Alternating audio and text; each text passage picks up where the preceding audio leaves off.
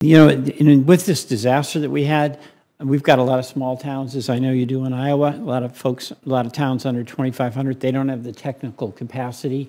Rural development has generally been very uh, helpful.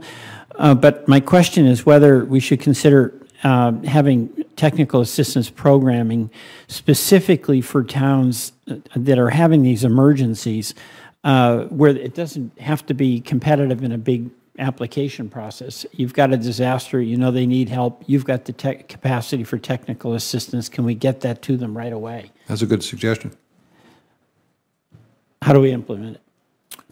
Uh, Well, uh, rural development needs to have the resources and the ability and the permission from Congress to basically utilize resources. purpose. I'm glad you think it's a good suggestion because it, it's really tough. I mean, essentially, what happens when you have a flood and it's a small town is the the select person, the select board starts going through the Rolodex and find out who's got a backhoe, who's got a you know truck, who's got a front end loader.